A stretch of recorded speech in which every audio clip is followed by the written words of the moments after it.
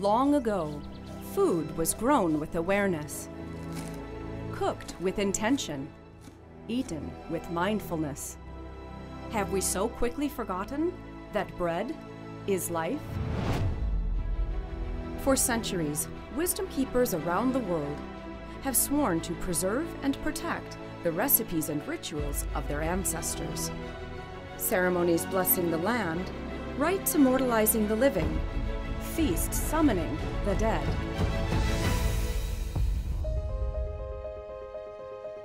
I'm Shannon Kring. Eight years ago, I left behind culinary fame. I was in this high pressure food world where the kitchen lacked any sort of reverence. To embark on a journey into the forbidden and the forgotten.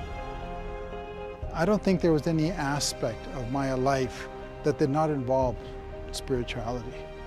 You know, us modern day Westerners tend to forget that. Lifting the veil on never before seen practices long shrouded in mystery and intrigue. We get representations of personal sacrifice that frequently paper would be soaked in the king's blood. Come along as I unlock the mysteries of secret temples and tombs, lands and kitchens untouched by time.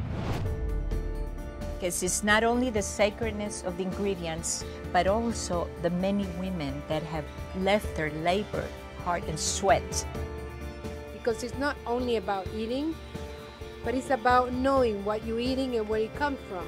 Hands down, the best truffle I've ever had. It's this spicy but not hot. Little tiny uh, river shrimp in chocolate sauce. Let us nourish our bodies, minds, and spirits with the healing power of sacred foods.